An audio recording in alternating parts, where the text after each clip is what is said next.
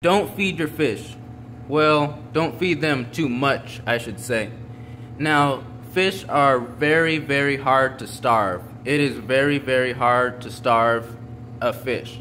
So, if you're having problems with too much algae, um, too many snails, too many like moss or whatever is in your tank, or fish are just dying, look at how much you feed them. I feed my fish once a day and I don't let I feed tropical fish flakes and if those fish flakes even reach the bottom of the tank then I know I'm feeding way too much. Your food should never if it's a floating food, it should never reach the bottom of the tank.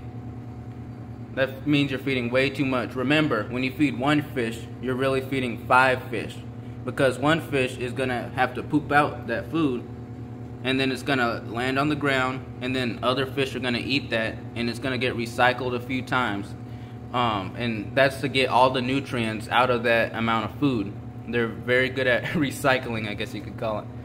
Um, so play with how much you feed them. They can go eat.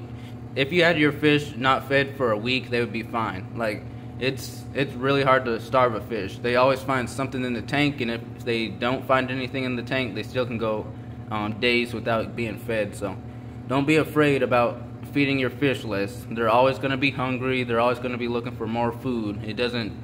It's not going to keep increasing their happiness um, forever. It's it's okay to play with the amount of food you feed your fish. Make sure you subscribe, and I'll see you in the next video.